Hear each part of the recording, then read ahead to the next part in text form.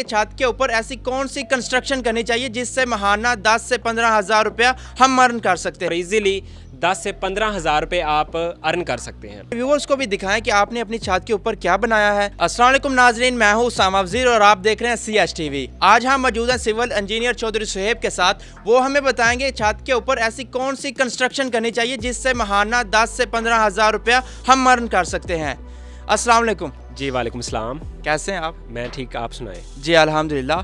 चौधरी सुहेब हमारे व्यूवर्स को बताएँ कि छत के ऊपर ऐसी कौन सी कंस्ट्रक्शन करनी चाहिए जिससे दस पंद्रह हज़ार रुपये ईजीली हम अर्न कर सकें? घर बनाने के बाद हमने ऊपर छत के जो स्टेयर्स होती हैं हमारी सीढ़ियाँ होती हैं उसके ऊपर हमने एक ममटी बनानी होती है ताकि हम सीढ़ियों को ढक सकें। ठीक है? ताकि हम बारिश के मौसम में हमारी जो सीढ़ियों के ऊपर पानी वगैरह ना आए, हमने वो ममटी तो ज़रूर बनानी होती है।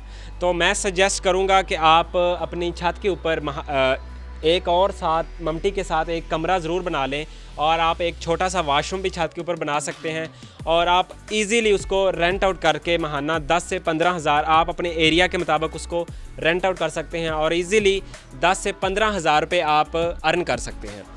और इस पर कोई ज़्यादा कॉस्ट नहीं आती। आपने ममटी तो बनानी होती है।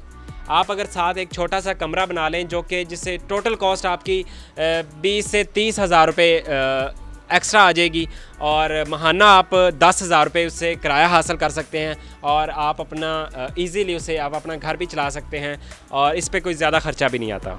व्यूवर्स को भी दिखाएँ कि आपने अपनी छात के ऊपर क्या बनाया है, जिससे वो दस से पंद्रह हज़ार रुपये अर्न कर सकें। जी तो अभी हम स्टेयर्स के ऊपर मौजूद हैं, जो कि फ़र्स्ट फ्लोर से हमारी सेकंड फ्लोर यानी कि छत के ऊपर ये स्टेयर्स आ रही हैं। तो अभी हम ममटी में मौजूद हैं।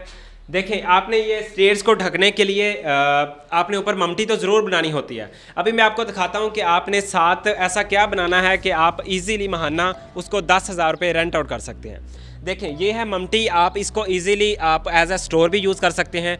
इसके बाद हमने ये साथ एक रूम बनाया है। कुछ ज़्यादा बड़ा रूम है रूम नहीं है और ना ही इस पर ज़्यादा कोई ख़र्चा आया है। और ये सामने, ये साथ ही इसकी विंडो है। तो आप अपनी छत के ऊपर एक ममटी बनाएँ। और साथ एक कमरा बनाएँ ताकि आप इसको इजीली राउंड रेंट आउट कर सकें। तो ये आप देख सकते हैं, ये वाशरूम है। आप कोई भी फैमिली छोटी फैमिली यहाँ पे इजीली रह सकती है, अपना गुजर बसर बसर कर सकती है और आप उनसे इजीली अपना 10 से पंद्रह हज़ार रुपये किराया हासिल कर सकते हैं। जी व्यूवर ये थे सिविल इंजीनियर चौधरी सुहेब, जिन्होंने आपको ममटी की सारी इन्फॉर्मेशन बताई। उम्मीद है आपको वीडियो बहुत पसंद आई होगी। अगर वीडियो पसंद आई है तो हमारे चैनल को सब्सक्राइब ज़रूर कीजिएगा। मिलते हैं नेक्स्ट वीडियो के साथ। अल्लाह हाफिज़।